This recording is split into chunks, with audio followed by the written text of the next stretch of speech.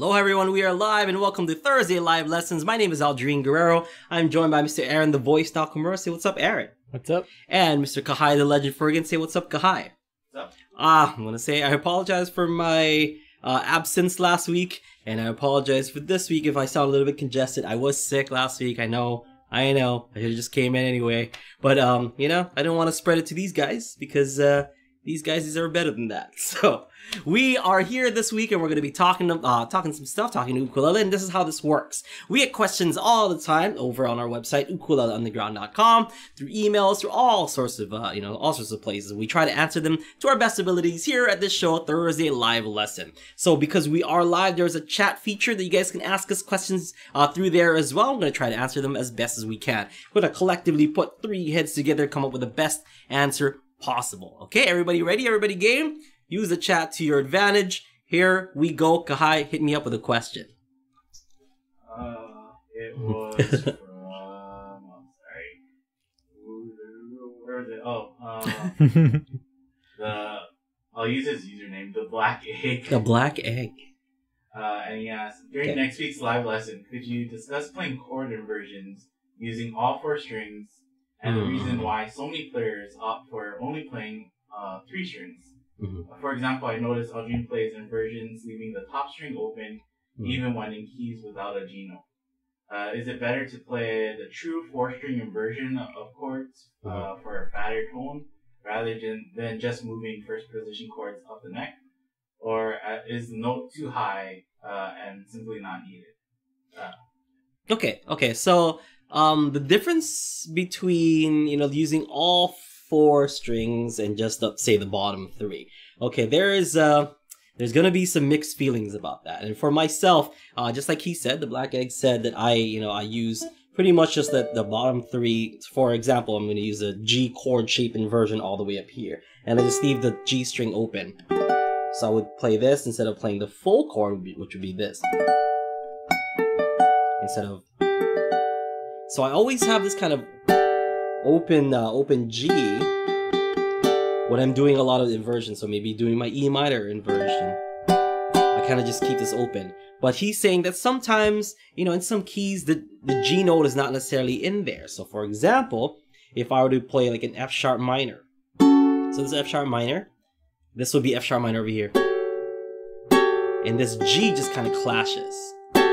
Okay, so for the most part, I usually take my thumb and place it over like this so that I don't think about whatever's in the top string. And when I strum it, it's just these three. Now the full chord would look like this, which is basically this note. So, because it's just doubling that note, I don't have to, you know, work too hard to get this because if I need to do that, my pinky finger needs to go to that C string, sixth fret, and then ring finger goes up here. I can't do it backwards like this because this feels the most natural to me. So E minor chord shape. Okay?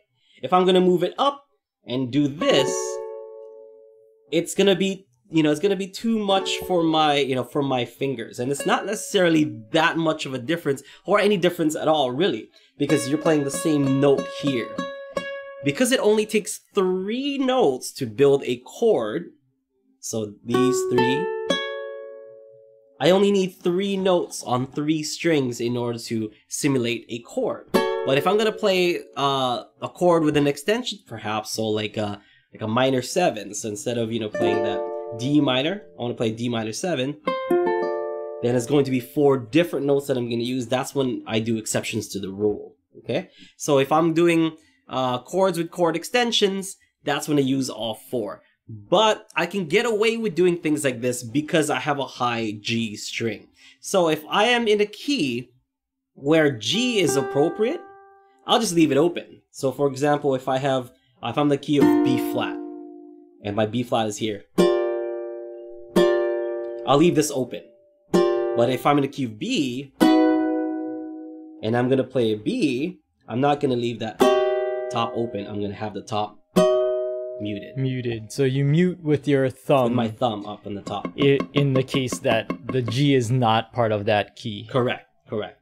So, um, for me, here here's a little, you know, here's a little bit of, of you know of a tip and trick is the for the most part, um, the chord shapes that I'm using are E minor, G, G minor, and this uh, kind of B flat chord shape, and maybe this E chord shape right here. Those are pretty much the only shapes that you know that, that I use up here, unless it's one of those fancy schmancy chords like I was mentioning with the extensions. So unless you got like you know those minor sevens, or perhaps like a, a minor seven looks like that, or um, or like an add nine, or any of those kind of fancy schmancy sounding chords, that's when you use all four strings. And I want to get the full color of those chords, therefore I'm going to use all four strings. If you have a low G, this is harder to get away with because um, that that high uh, this high G helps me hide. If I'm gonna play say a C here and a C here, it's not too bad. Do you guys have a low G here somewhere close by? Mm. Okay, so here is a low G ukulele, and I'm gonna try to do the same thing, and I can't really get away with it. And then I play up here. This kind of sticks out like a sore thumb it works. It's just, it's the right note. But then when I you know raise it even further, oh, it just seems out of place. It's gonna stick out. So if I have a low G, that's when I play the full chord.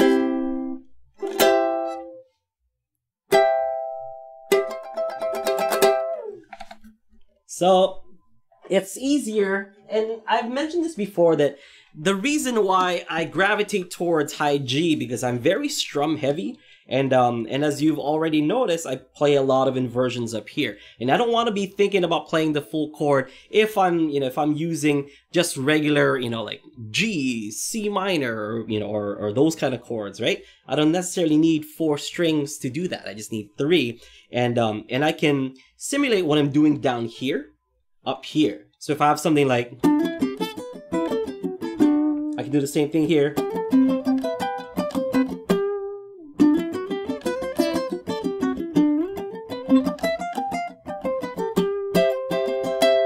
And then I'm gonna strum a chord. I can do the same thing up here. And I don't have to change anything except my position on the fretboard. The fingerings remain exactly the same, but if I had a high G, I would have to do... See, like, it takes me a second to, like, to get the full bar chord in there, but... I'm so used to just playing that G chord shape that I would down here, so I don't necessarily have to change too much things, and that just... Uh, that's just because I'm lazy. I think I've said that before too. Like I play a high G because I'm ne- pretty pretty lazy. I'm pretty lazy when it comes to ukulele. And when it comes to playing up here, I don't want to think about this. Okay? I treat this up here as a ghost note for the most part. That is just there. You know, you don't necessarily, you know, you don't necessarily hear it or you, it doesn't make too much of a difference that is distracting. It is, um, you know, it's it's just there like a ghost, a ghost note. So that's Yeah. My take on playing, you know, uh, inversions all the way up there. If uh, if it's going to be a chord that has the G string in there, that's pretty necessary. That's when I change, know, when I when I change up my uh, my playing. If it's going to be an important note, you know, to uh, to the song. So it just depends on what I'm trying to do or what kind of voicings I'm trying to, uh, you know, I'm trying to get. Yeah. And usually with low, if you're playing a low G ukulele, then that bottom note is, or like that that lowest note is an important note. Yeah, So, yeah, yeah.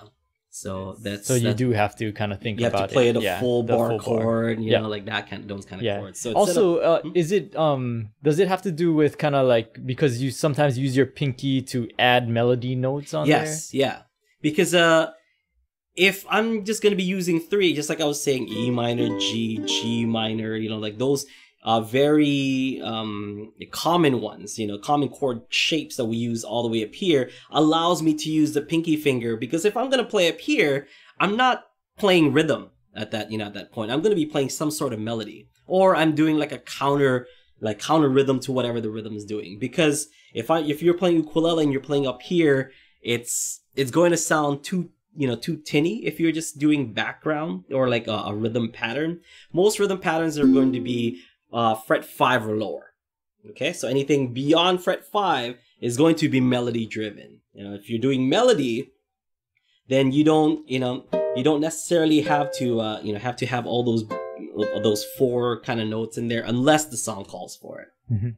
Yeah. So and uh, all those chords that I'm going to be playing in there because they have melody, I'm going to be using my pinky for a lot of that stuff. So instead of just playing a normal, can add things like.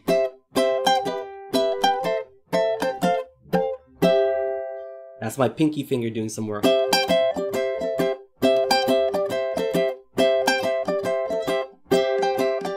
I already got, you know, my, my thumb up here ready. Now if I were to play C sharp,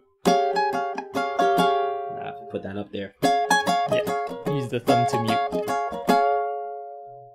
So it looks like I'm just doing this, but I'm actually um, muting the top string so that it doesn't clash.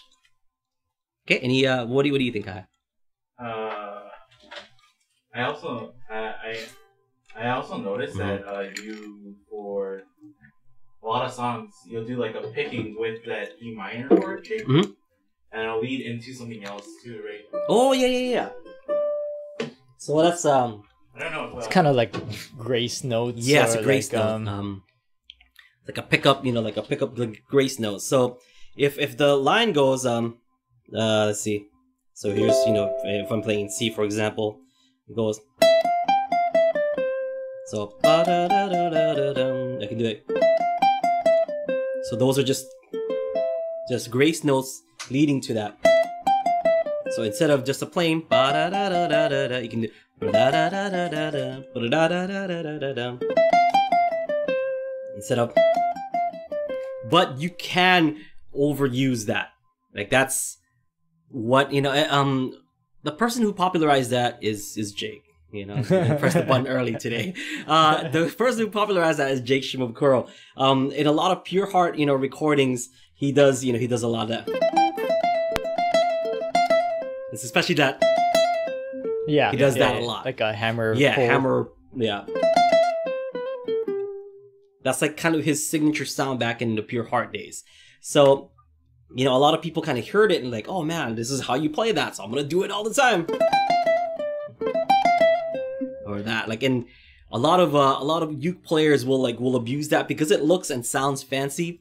But if your entire like solo consists of nothing but just it just sounds boring, you know. So be careful of, of overusing that. I It is- some. I'm not gonna mention names. A lot of players who are guilty of this.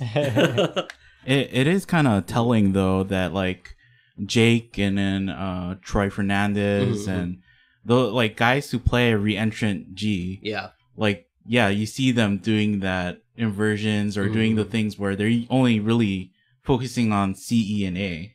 yeah, And then mus- uh, uh, ukulele players like Ohta-San Mhm. that plays low G, he'll like do more of the full chord, yeah, Mhm. yeah, like yeah. and then he'll he'll do more uh chord stuff like chord based things because he has that like Mhm. low G to really hit that yeah. root note yeah so Yeah, so I mean, I do that, or you know, that's done, or, or Jake does it and stuff because it goes from high to to low, so that grace note sounds like how it's supposed to sound, or like that pickup it goes da you know, or low, low to high. Yeah, low to high. But you can you can do it, you know, it, without doing this E minor chord shape. You can do it in any uh, in any chord shape because it goes low to high on the ukulele. It's just E minor is Yeah. easy. and then like if yeah and if you try to do it with like that full chord shape it would just Yeah. kind of but the said artists, like plural now, artists that do that, do not realize that like you can do it with other chords. They Yeah. just go, they always use the E minor yeah, Yeah. always E minor. You Yeah. so many, Well, so many guilty, so many guilty. But I think- uh it was in patrick's duels right yeah, was it? He did that. or, or I, I think he might have done that Yeah. like with europa and some stuff but Mhm. like i think and then you came in with Mhm. uh diminished chord shape and yeah, you did kind of the same thing and he was Yeah. like what did you just oh, do because so so diminished chord shape. There's what like what Ka- Kahai is talking about. It's a diminished chord shape, right? So if you do an into out picking, then it goes from low to high. So But this note right here, you can play this note. So you can technically go. So you can do. And since diminish, you know, like uh, repeats itself every four times, you can do. Yeah, So there's like different variations that you can do, but everyone's guilty of. and and Patrick that. saw that and Yeah. was like, "What did you just do?" and then kind of when you explain like, "Oh, it's just a diminished shape," Yeah. and he's like, "Oh, you're doing like the same thing that I already Yeah. know how to do." Yeah. But with a different chord, and then he like you could Mhm. see the gears like turning in his head, and he was like, "That was really cool." Like that was a, I think that was a cool moment for us to Oh, catch on camera. Cool, cool. And then uh like he started to go right. He asked that question right when our Yeah. cameras died, and then he he wanted to like keep asking right, but we're like, no, no, no, wait, wait, wait, wait, wait, wait. wait for the camera Yeah. to start rolling. like we're gonna turn the cameras back on, and then you can ask your full question. Yeah, Yeah. it's it's kind of like you know when you do um boop, because it's the same diminished chord. Diminished uh re- repeats itself every four frets.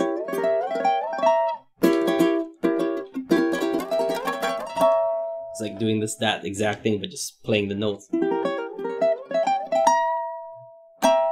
Oh yeah, so for um for people who don't know uku- uh, ukulele duos, Oh yeah, yeah, yeah. um that was a kind of a series that we ran on Ukulele Underground Plus. Or it's like me and one other person, and we jam and we talk story. Basically, we talk about either what we played or like what's going on in each other's, you know, each other's lives, or how you know how a person like kind of approaches, you know, like uh their their playing style or you know or whatever. It's it's a nice little sit down talk story and jam kind of series. So if you guys are interested, check out Ukulele Duos. Yeah. We have how many episodes do we have? Three, four. Uh, I think four. We have a Patrick, um, Craig and Craig Sarah, Sarah, Jason, Kyle, and Jason uh, and uh, Matt. and Matt. Okay, yeah, yeah. so Matt was our last yeah. one. So Yeah. So we actually might um kind of integrate some of that if anybody's in town, maybe, Yeah. maybe we can just put it into this podcast where Yeah. you know you guys kind of ask each other questions. Yeah. Yeah. That sounds good. Yeah, we gotta. Not a lot of people come to Kauai though. I mean, they do, but we don't. We don't get them here. Yeah, we gotta get them into here. the We gotta get 'em in the office. studio. Yeah. It- it's a little hard because like you you just said Andrew was on Kauai, right? Yeah, but he was like in and out. Yeah, so, and that's for a lot of people. Yeah, they come down for Just like one show. Mhm. yeah, Yeah. and sometimes it's a, if we're lucky, it's like a day, and then Yeah. usually it's like oh. I'm flying from Oahu, so I can just fly in for the afternoon and fly back. yeah, cause um, what you call it? like Abe? You know, Abe was here. Abe was here Yeah. too. um, yeah. You know, I. Man, we could have done an awesome one with Abe. That would have been amazing. I don't think if I could, I would have kept up with what Abe is Just doing. the watch him part. the whole just time. Watch it. I'll be the one asking questions. Yeah. You know? Yeah. So um yeah, Abe Lagrimas, yeah, he was here. Matt, we had Matt when he was he was down, but Andrew Molina, that's another one we missed out on. Should have had him. Jake sometimes comes down. He was supposed to come down next month. By the way, I know I said like, oh yeah, in June we're gonna be doing a show. Cancel. Long story. long, long story. They were not. Uh, short story is they were not prepared. They didn't get the permits to uh, to set up this show. Me and Jake were available. We were ready to do it, but they're like, mm, we counted our eggs before they hatched. So oh, that's too bad. yeah, so it's too bad. Um, it will be postponed till October, but who knows? I'm not gonna hold my breath anymore for that one. So. tell me, tell me when you got everything set. Yeah, exactly. I'll be there. yeah, so yeah. It's it's uh it might still happen, but like I said, I'm not gonna hold my breath anymore. But I apologize for everyone who uh who were making plans or well, you know, around around Yeah, that show. yeah, it's Yeah, funny. Um, we were, we were just talking about because you were saying how Heather, Mhm. um, was kind of asking you like, are you are you still excited to watch Jake? Because you were you were kind of excited. Oh no, um Yukari. Oh, like, yeah, okay, uh, okay. Was so, it uh, was it? Yeah, okay. So here's here's what Aaron is talking about. Um, Jake. Last time Jake came down, and uh, I'm like, gotta gotta keep hitting the button. Uh, my- my- Uh, my laptop is broken, Oh, okay, okay, so that's okay, why okay. I'm like not. I, I don't have Okay. the extra thing. yeah, you gotta do it. Do it with your mouth. So uh, last time Jake, you know, Jake came down. Um, I was telling Aaron that I was, you know, when when I was watching him, uh, his manager, uh, Hawaii managers, Yukari Takai, I, think her last name is, but Yukari, um, you know, was there, and Yukari got, you know, got me and Mike, and you guys know Mike Odo, uh, got us in, and me and Mike were just kind of watching, you know, the master like do his, you know, do his thing, and um, and I'm just like. I- Every time I watch, I've watched him a million times. I'm like good friends with him and stuff, and, and we jam together. But every time I watch him, it's just like I feel like that that young high school kid, you know, watching the Hot Hawaiian Nights video like over and over again. I'm always inspired, you know. I'm like, oh man, like that voicing that he did there. Even though I know exactly what he's doing now, it's like one of those things. Like, oh man, that sounded so sweet. He hit it just right. Mm-hmm. He, you know, his tone was on it. His, uh, you know, everything was everything was perfect. Basically, he's he's like like a master. You know, he's watching a master at play, and uh, I'm just like in awe, and I'm like clapping, and I'm like hollering and stuff because I'm I'm into it. You know, like I'm I'm a mark for for those of you who uh, who are wrestling fans. I'm a mark for Jake, and uh, um, then Yukari, you know, and we're, we're me and Yukari are friends too. Yukari's like, how many times have you seen Jake? Or like, oh, how are you still excited to like to see Jake? Because I guess for her, it's like I see Jake all the time, and I'm like, you know, I'm like maybe if I go on another tour day. with Jake or whatever. But even Yeah. then, I think because I just I love the uke so much that like watching somebody who's really figured it out, who's you know who's at the top of their game, who's really figured out the craft and is, an artist, you know, a true artist. Because you got players, you got musicians, and you got artists and artists who you know it's like watching. If you could watch. Like, and this is what I told you, Kanye. If you could watch Leonardo da Vinci paint a painting, you've seen many, many da Vinci's, you know, before. But if you can watch him paint, would you not want to watch him paint? And she's like, oh, yeah, I guess that makes, you know, that makes sense.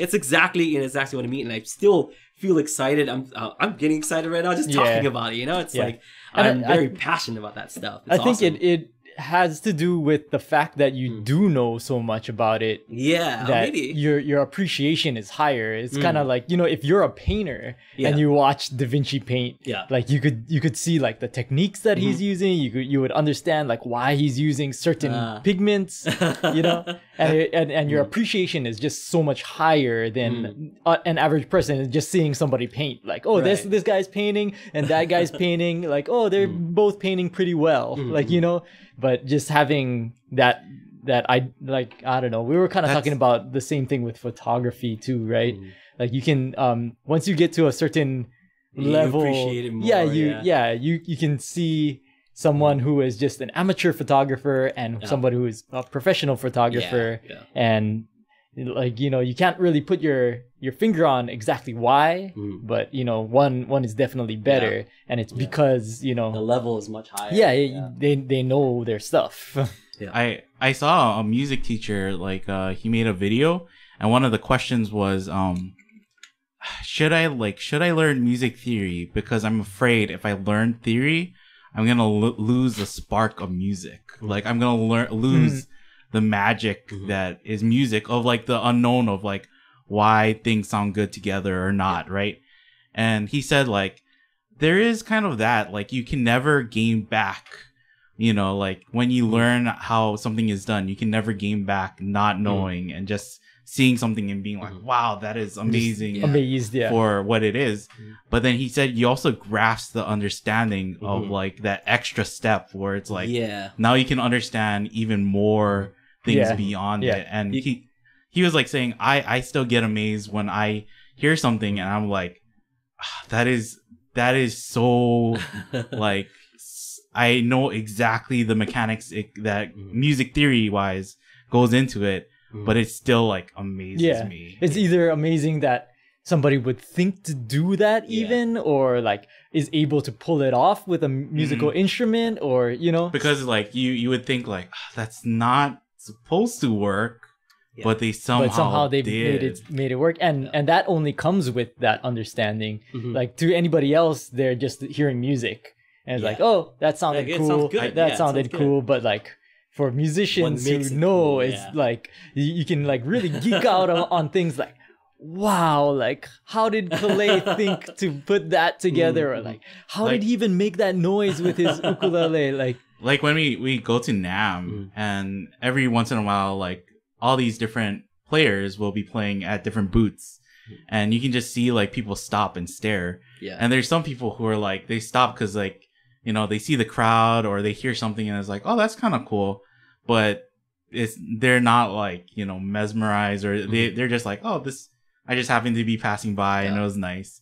And then you can kind of see like where there's other players other you know if it's like a bass player who's like going nuts and then there's other bass players who with their jaws hanging down who are just like i what? Yeah. Yeah. that is amazing. That's a whole new level for yeah, it's me. a deeper understanding, you know, when when you uh when you un- when you understand what they're doing, when you know like music theory and what you know puts those things together. Like I listen to, um, I used to listen to Jimi Hendrix all the time back, you know, back when I was like when I was a young like guitar like wannabe, you know, electric guitar player and stuff. But now like I have a I have a better understanding with music theory, and I just realized like how messed up like these you know these chords and chord patterns like, Like, how, how- did he make did that he- fit? Like oh my god, like it goes from C to G to D to A then to E7, but he's playing in an E7 the entire time. But it's like mm-hmm. I- Why does that the even heck? work? How does that? It's like yeah. it goes C and then the fifth of the C a G and then it goes to the fifth and then it goes to the fifth and then it goes to the 5th Mhm. I was- back to see. It's like how the heck? This Yeah. is uh, Hey Joe by um by Jimi Hendrix, and it's, it's amazing. What about you, Kai? Like, let's, let's go back to Well, I was get dorky. Um, you now know how to do magic. yeah Do you still watch magicians, even Yeah. though you know that like I know how to do that? But like, do you have a different appreciation, you know, for or do you still do you Yeah. still see yourself like do you still have the magic in you, the twinkle in your eye when you watch magicians? well there's there's like so I, I think a lot of magicians uh, they they learn magic. I guess there's two camps to it. There's like penn and teller right? Uh-huh. they a lot of their tricks that they do they explain how they do it in the, like how they actually do the trick. And that's part of like their show is like that you're like oh my gosh that's like so technical. Mhm. like they do the cups and balls routine Mhm. with clear plastic cups. Uh, and you're still like that's amazing Still but amazed, yeah. they they like, I know how it happens, but yeah they they he, they still like ended up palming a, a potato and putting it into a plastic cup when I wasn't paying attention. And they're explaining the whole trick and it's it's you do get a and I think uh Teller he said that he went to India or Egypt and he went to like uh street magicians. And the street magician did the cups and balls. And so it, the regular cups and balls you like pick one a cup and then they open it up and they're like it's not there where did it go right and so Teller was like oh okay I know how it's gonna go but I'm gonna play along Mm. because you know just to be nice yeah. and he pointed to the the cup and the magician's like nope it's still there the ball is still there and Yeah. teller was like freaking out he's like to to anybody Yeah. else, Oh my gosh. nothing happened. Like to, Yeah. to, to any other bystander, like Yeah. nothing really happened. like oh this guy Like is a him, bad yeah. magician yeah, yeah. but, for teller him, since he knew he was like he not only stole the ball he put it back Yeah. because he knew what i was expecting yeah, yeah. He's like, oh my god. so Oh, that's there's cool. there's different levels of uh, yeah. Presentation. Yeah, exactly. You know, like some you know some people. Let's going back. You know, going back to Jake. A lot of people will just you know will, will watch the hand, like the right hand, doing you know doing this thing. But then like it's this you know with this and, like what Kind chords of he's playing combination. exactly. And then like sometimes he'll like you know he'll do like a melody line and he'll do like a quick maybe like a pickup note with you know with that, and it goes mm-hmm. back to you know like do something that like that crazy where like um just that tiny thing you could you know you could miss it if you you know if you blink but it's like oh like how he added that like that ninth or that 11th or flat 13th or whatever you know it's it's those things that like make make me giddy still like oh man Yeah, yeah. oh I, I, I didn't think of that and i always i always tell myself that like oh man how why didn't i think of that you know? there was I- there was one um well I we might have mentioned this on the podcast before, but we were filming with Imua Mhm. And both you and Kalei were on Yeah. set when we were filming with him. yeah And it both of you you and Kalei are, you know, really high level, high-level players. players. Well, you're, And- you're professionals. yeah. And you both of you asked Imua about the same thing What because you you both of you didn't understand how he did a certain thing. Do you remember what it was that he was talking Um, about? Or or that you asked him? It was uh he did like like harmonics, Mhm. but then he did it like as if he's doing. Because Oh. usually, if you do harmonics, it's, Uh-huh. then he did it like Oh. so he did it like that. When Oh, like, he used his thumb, to to do what my pointer finger is doing, and then he rolled this. Ah. So so you It's heard like- it huh? you, you heard it on an album or something? We heard it in an album. Um, Imua has an album called Dream Speaking, and uh, the I forgot which song it was. It's like um, something about a cat. Some, something about a cat. I forget. Like um, something with the catnip. I don't know. Uh, yeah, to look it up. It's if you listen to that song, there's like a there's a I think it's like a two second, three second line that like me and Kalei still talk about it like to this day. We're like, man, that So- line that Imua did in that song. So you um oh Jinxie finds the catnip. Yeah, Jinxie finds the catnip. Is that the- is song. the song. Oh my goodness. So so both of you guys were in like we we're kind of taking a break from Hmm. Yeah. filming and both of you guys had the same question independently Yeah. because you both didn't understand how he did this one Yeah. thing. And that's kind of like that's a level of musicianship where like you know if you can kind of amaze people who know music, Mm. that's that's pretty yeah, that's And that was the thing. I wasn't about to like miss that opportunity to ask. Like, To Imua ask. Garza was Yeah. right there in front of me. I'm Yeah. like, it's it's now or never. There's one technique I can't seem to figure out like what That he's you doing. did, yeah. And he kind of showed me in Kalei that it's like, oh, it's this. You use your thumb to kind of do the uh, do the harmonic so that you can use this. Because if you're using your pointer finger, you It's only like have the thumb to uh, one to- to do string, that one, one string. yeah, one No. note, one string. It's less accurate, but that's what makes Imua Garza good. Uh-huh. It's like he can do this, but accurately. yeah. Uh, Oh man, that's can't do it. amazing. so Yeah, yeah. So see, that's that's kind of the Mm. where where it's at, where like you know how it's done, yeah, but the fact that he can do it is still amazing. You know. exactly. Sorry for the audio listeners, you can't really see what Aldrine is doing, but So he- let's see if I can do it like slow. So he's using his thumb for what I normally use my pointer finger for. So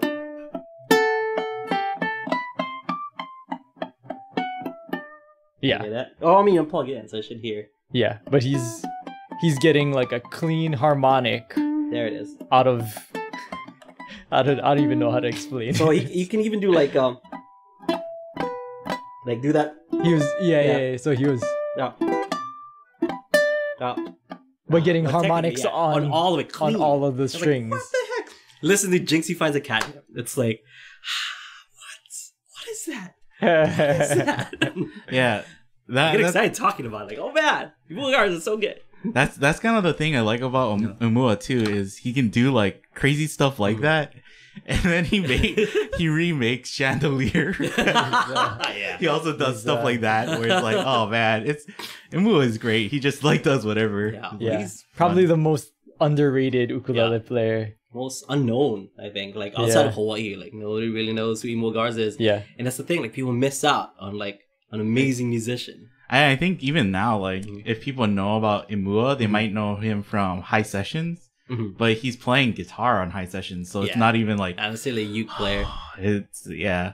OP yeah, figures. he's he's like our age, like me and Aaron's age, and he's they when didn't. we were in senior in high school, like he already released his second album, which was the Beginnings Opihi Pickers album. He released his first when he was like 15, 13, something like that, with uh, Fresh Off the Rocks Opihi Pickers. actually, no, he was he was on a compilation album before Yeah, that. and he played uh, uh, Stars and Stripes Forever. yeah, Yeah. yeah, I'm talking it was Oh. like full album. It was yeah, like that yeah, him, he was he was on a Roy Sakuma I think compilation album you, because he was so good as a kid. He's really good. What guy I- so good. Ridiculous. yeah, I have that album, and I, I don't think I ever knew who did it. hmm And then you played like you played, uh, you played Jake's, Jake's kind of version of version, Stars and right? Stripes, yeah. Yeah, and then I, I- like I had to go like, was that? But was that Mua's or Jake's? like, because they know both, and it's like both are pretty great. It starts off with the. Um.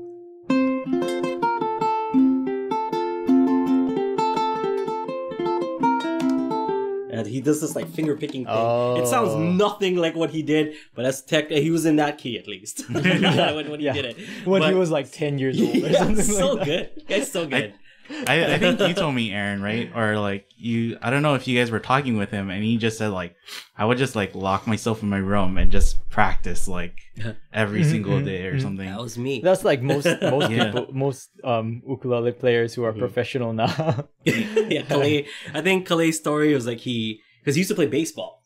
He Mhm. got injured, like, um, and I think due to his injury, he couldn't really do anything. He had to stop playing baseball, Mhm. so he picked up the ukulele and learned that instead. Like, all Ah. the effort that he would he would have put, Yeah. you know, into doing baseball, did ukulele instead, which is which was the best thing he ever did in his life, I think. yeah. There is a, a magician who said he was riding his bike Hmm. and he like flew off the front and broke both of his arms. So like as physical therapy, the therapist said like, "Oh, why don't you try magic because it's with your Mhm. hands, so Mhm. you'll move your hands."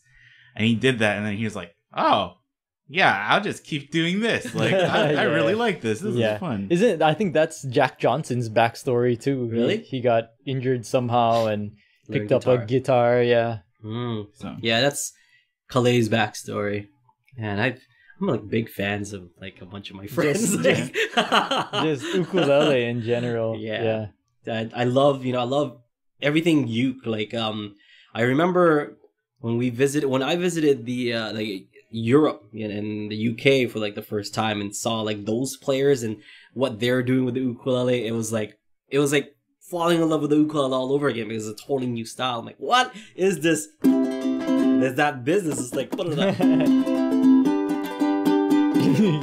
I can't was do like, it. yeah. I, I think you you used the analogy before. It's like you get your belt dirty, right? Yeah, and then yeah. it just you get a new like you have to wash it off, and it Wash, becomes a white belt again.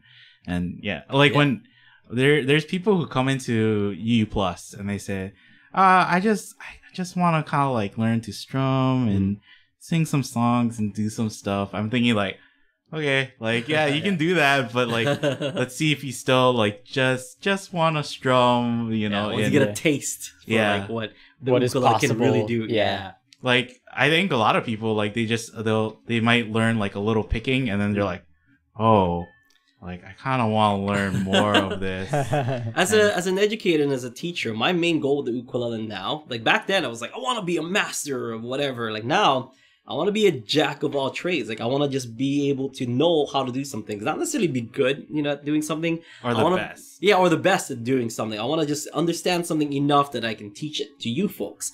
And um it's pretty cool that I've, you know, that I've gone through all these like travels and stuff and just kind of seeing what's out there and like and what people are doing now so that I can kind of absorb what's possible, you know, with the ukulele. And and every corner of the world that we've been uh, we've been to, there's like always something different. Like we went to New York and there was a guy who's doing like the uh, like a more percussive technique with the ukulele. That was really interesting Mhm. um you know like seeing uh just people in, in, in like in the mainland what we call the mainland you know mainland us uh, as compared to here in hawaii and stuff and how you know they take the ukulele and just kind of do this singer songwriter you know thing with it and or just the clubs here in hawaii like ukulele clubs is not a thing yeah Mhm. but then in the mainland so it's like a totally different appreciation for the uke and totally different approach to it because you're just playing with others. And when it whenever it's here you know it's being done here in in, in hawaii it's usually like a 200 piece band by roy sakuma that like plays together you know and they're like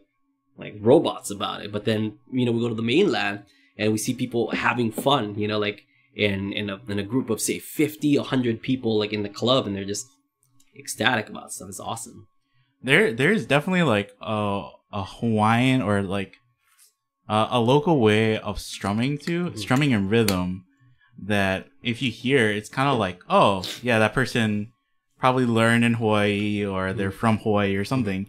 And then when we go to the mainland I hear people strumming and I'm like you didn't learn like what are you doing? Like what why are you strumming like that? And it's not a bad thing it's just Mhm. that I get like and the same thing with what you said with Europe too yeah there's just like such there's little things where it's just like you guys didn't learn the same way that I did and Mhm. it's kind of it kind of trips up my mind where I Mhm. I can't really understand it's cool like I want to learn but yeah it's just it I think it has to be like the environment or something where just even though it's the same instrument the pats Yeah. trade yeah I mean, just like chunks alone, you know, like a ch- chunk. It is like a like a Hawaii thing. Like that's something that you learn like at the beach, like from some uncle, like with an Mhm. ukulele, you know, after Or- he's done surfing or whatever. You know, that's something that you learn from from And- that. And they wouldn't even call it like a chunk. They just go Yeah, like, like, "Oh yeah, you just make the Just go this. yeah." It's Yeah. like you make that sound. Exactly. basically yeah. We there's no drummer, so Yeah. you just got to be the drummer too. All right.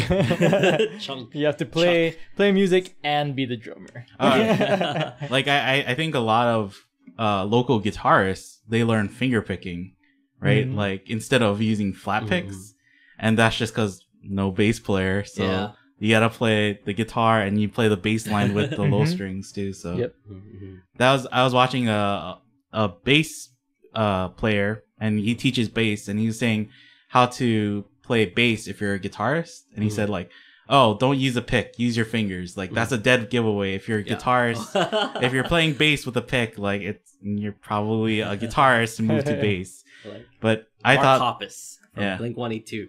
but I, I was like like oh that's no problem like I use my fingers all the time like, I can do that Yeah. Um, my favorites, the guitar player turned bass, Paul McCartney. Listen to those Oh, like yeah. early like Beatles tunes and listen to his bass lines. Like the song, I always go to something by the Beatles. You know, like Mm-hmm. something in the way she moves. If you listen to that bass line, that's like that's that's interesting. Like a, it's a guitar player playing bass. Uh, It's it's very melodic and.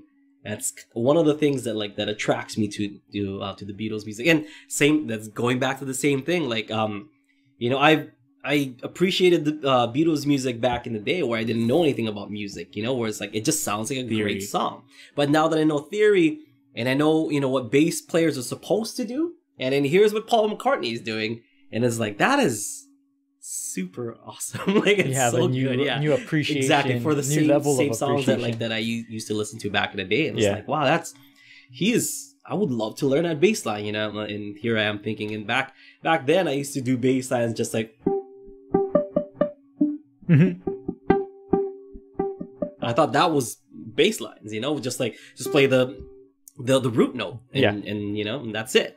But then you know McCartney kind of took it to that level, and you know I know I'm singling him out, and there's a bunch of great oth- you know other great basses out there, but for me that was like a big revelation because I used you know I used to enjoy the tunes a certain way, and now I enjoy them in a totally different way because not just McCartney, like all all of them were like really amazing, and uh I know Ringo gets a lot of like you know lot of slack, yeah, for about, about not being good. But you listen to something like "Happiness Is a Warm Gun," where like they go from like four four to three four to like you know like Mhm. six. It's amazing. Yeah. Like how like the Mother Superior jumped the gun. It's like totally different was, from he was like, right on it. exactly. on the it's changes. happiness is a warm gun. It's like totally different beats and stuff, and it's a totally different time signature. So as a as a drummer, you gotta be there for that. And it's That- Ringo. I'm I'm, I'm a fan. I don't care what anybody I else get what says. anybody said, Ringo. You know. that that's those those things and like we talk about like Eric Clapton too I think Mhm. he's another one where it's like those techniques or those things that they do it's it's even things that like advanced jazz theorists Yeah. like they don't like learn until like later on and then they're like Mhm. what the heck why why are you doing it this way there's um a great interview between uh this musician Jacob Collier and uh this guy who tr- like he transposes his music so he like takes his music because it's like so complicated and he uh, makes sheet music out of Mhm. it um and he asked him like a question like why did you do this and Jacob Collier was like um I could tell you it's to get to like the four five and then to resolve but in reality I just did it because it sounded good Yeah. like I just I make chords, I do things because emotionally I feel like that's it's Mhm. good, and then that it it becomes complicated, but it really doesn't need to be. It can be just distilled to that's what. yeah, I as like long as it makes you know makes sense. Like I, that's that's the kind of music I like where it has purpose. You know, like you do this because you want to invoke this kind of emotion or like Mhm. this is what this you know the story of the song is trying to tell, and then it resolves to the one like the four. You know, it's like going from four and five to the one, but then.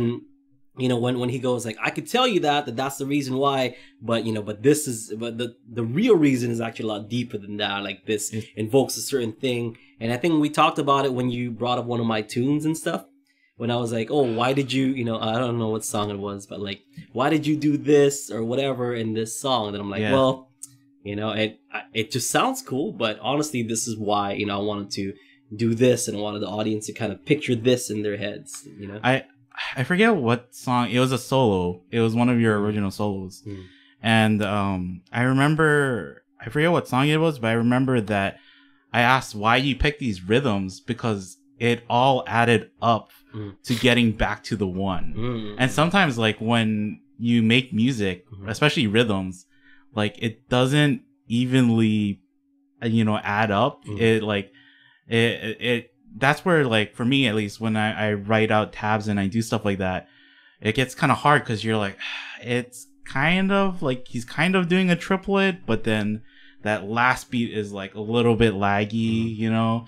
So it's not really a triplet, or like you get into finer details where it's like you can kind of get close enough, but you can't get Yeah. exactly what a magi- uh, musician does. But then for that one song in particular, I was like, this, all of this, like I transcribed it, it all adds up and it's all even and it all makes sense. So that's why I was like, did you intentionally do that? Or yeah, because sometimes just- you just gotta throw out the rule book. It's like this. I don't care what you know what the like if it has to go one, two, three, four, or whatever, and like as long as it makes sense, let's just throw that rule book away. Like this is what I want to, you know, this is what I want it to sound like. These are the emotions that I'm trying to invoke, and this is what I want the you know the instrument to to say. You know, really is what it boils down to. Mhm. And um, and if it lines up, then great. If it doesn't, it still sounds great. You know. Yeah, I was watching a, a video on irrational time signatures. And so like stuff like that, it goes like one, two, three, four, one, two, three, four, five, six, seven, eight, one, two, three, four, one, two, three, four, five, six, seven, one, two, three, four. Oh. Like it, it goes, it keeps going back. And the guy said like, I wanted it to feel like every time you, you go back, you're Mm. expecting more, but it cuts off short. Mm. So you have that Mm. feeling of like trepidation. And that's where I think like good songwriters, they know a feeling they want to invoke Mhm. and then they're like, oh yeah, you know, it, whether it be like consciously or subconsciously, they can pull from their bag of tricks. Like, yeah. oh, I could use this to make it sound, Mhm. she's trying to invoke this more. A great uh, ukulele example of you know bringing back to the uke. A great ukulele example of that is uh, listen to Jake's song "Trapped," and I think Hmm. that's like in a very irregular like uh, um Time uh, signature. time signature. Yeah, so look and it Which It's would like- make sense. which yeah because the song's called "Trapped." Yeah, and you know yeah. it, it'll invoke that feeling that you're being trapped. And don't ask me to play it because I I can't.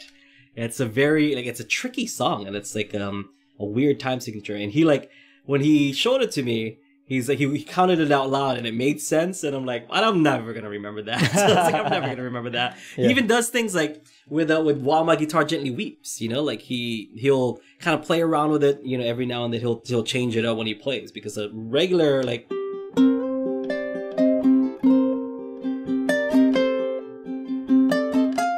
Right, but he goes. So it's like it's cut, like Mhm. Instead of doing holding it for the regular.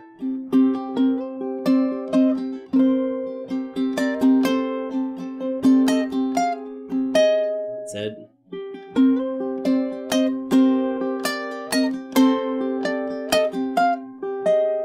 It's like cutting it to two instead of like you know letting it go for that three four and then coming back in. It's like one two one two one two three Mhm. four. It's like And yeah, and that, that makes sense because that part of the song is a build up, right? Yeah. So it kind of feels like, oh, he's like building momentum. Yeah, he's yeah. getting like, he's pushing forward. the first time I um I noticed like you know when when people cut things like that is uh it is not that long ago. It uh it was a song Hey Ya. That is it by Outkast. Yeah. Did Hey Ya.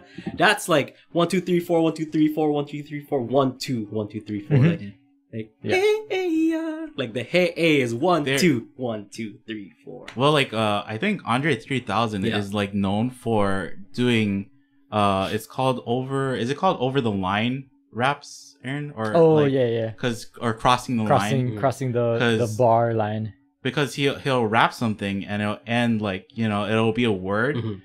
That starts on beat four and then continues to beat one. Mm. So he's kind of connecting the Mm. the two lines together by Cool. just crossing over to that Mhm. next section. and Yeah. that's that's like something. That's why like people who are like, oh, rap is so so generic and it's it's so It's like, complicated. yeah, it, Yeah. you can. It's the same thing as jazz. You can get really into it where it's Yeah. like these guys who are doing it, they're doing pretty crazy stuff. To be fair, some people say the same thing about jazz too. There's like Yeah. that Yeah. that uh the joke in the office where like Angela's like, jazz is stupid. Why don't they just play the, the just The play, the right right notes." notes? Yeah. just Yeah. play the right notes. Yeah. Yeah. Oh man, I love it. And as a musician, I'm like, that is that's funny. Not true. It's funny. It's like, I get, get why. well, like it, it's. I think it's yeah. It's that level of musicianship, right, where you wipe your your belt and it's white, Yeah. and you're like, well, I was kind of bored. Like, Yeah. why would I? I don't want to keep playing in four four. I want to play in five four, or I want to play in you know nine four or something like that's. Or I, j- I just want to try this, and then that's where it's like weird things come out, but Mhm. It's like eh, it's an experiment. It's trying something different. And there's a um there's a song in my album called Escape on Sugar, which is supposed to be a uh, you know like his uh, Bandito Tyler's horse, right? And then in right in the middle of it, like because it goes that where it sounds like you know like a Lone Ranger, like his you know, his- Galloping. galloping, right? Yeah. And then it like goes into a two four um because uh, Ariki the, the drummer he'll start doing this cadence with the with the drums that's when it gets to one two bum ba dum ba dum bum bum bum ba dum ba dum bum bum one two one two one two one two da dun dun dun dun goes to like um like a march so instead of it being a gallop it turns into a march goes back to being gallop so it's like it's like I've we uh the the, the horse that kind of ran away enough that like we're we're gonna show off a little bit like you know we're trotting. It's like Mhm. oh it's like a it's like a march. The you know the horse just kind of marches like ha ha we got away and then you know like and then it, it goes back again. It's like it just shows the uh, like the the arrogance of like Bandito Tyler and his horse sugar. Yeah. That and uh, correct me if I'm wrong, but that's a song right where it's like you play that part and you kind of break off and you let Ariki like Yeah, play the- that the- drum solo. because that's what it's supposed to feel. It's like the, the march. So the Mhm. drums kind of take over because like it turns into a march. Like If- it's it's like arrogance. That's what I want to do. It's like arrogance of like ha ha, you know, like Yeah, we got away. we got away. well, we if you if you, foiled them. if you played plans. in marching band or if you went to a parade, usually the the drum line will do like the dun dun dun dun dun dun dun, Yeah. and it kind of like it gets you started for the actual song, and they'll repeat that a couple times, so it, Mm. it makes sense for like that break, and then it's kind of like oh okay, So that that break here's a here's an Easter egg. That break, that drum solo, which is uh this on snare, yeah, because it's you know, I wanted to wanted Yeah. to sound like a marching drum line. That solo or breakdown is from Bridge Street March, which is a uh, level one seventh grade uh, band song. like, because uh, I wanted it to be really, you know, really basic. Because I wanted him to Mhm. just do like one, two, one, two, like a march. You know, like a let's do Bridge Street March solo right there on this like uh, uh Escape on Sugar. Yeah, check it out if you guys haven't checked out uh, that song or that album. That's most of like my creative juices were on that album. Like I, I really worked hard on that one. uh, we're almost at time. okay, Uh, one more but- question. Yeah, we did have a question. Okay. John asked, uh, you mentioned that for the purpose, uh, purpose of strumming, Mhm. uh, when you're recording, that you like to use soprano ukulele. Can Yes. you briefly discuss that? Okay, so um, when I'm uh, I'm doing rhythm patterns with the ukulele, uh, I like to use uh, soprano, you know, soprano ukes. There's a soprano uke here, right there. You're gonna pass me that. Oh, so sorry. Um, so the reason for that is the soprano ukes. soprano ukes is uh is gonna have the most like ukulele sound. I don't know how do I explain this. Um, it's it's what you hear. You know, when you when you think ukulele and somebody strums, um, you know, somebody who's never heard of, of ukuleles before or have heard a professional ukulele album. If you're gonna strum with your tenor ukulele,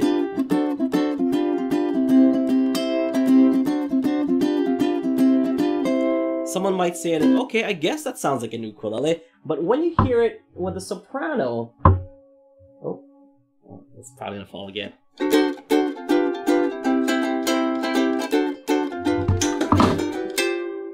It's like no, you know, like there's no doubt in your yeah. mind that that is an ukulele sound. So uh, I learned that trick from Dr. Trey. So we, I, I recorded with Dr. Trey on my second album called I'm a Dreamer, and that trick we used to uh, to get like the most ukulele sound you know into the album because it is an ukulele album. So to get that kind of sound using sopranos, and the one that I use is a um is a soprano. Uh, Joe Souza's personal soprano is what we use for that. It sounded so good. I wanted to steal that uke from his house because I stayed with him. Uh, he- he's like 10 minutes away from Trey's studio. So I stayed with the Souzas.